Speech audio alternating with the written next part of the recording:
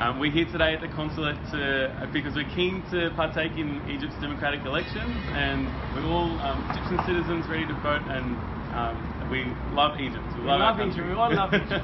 Masr, the mother of the whole world.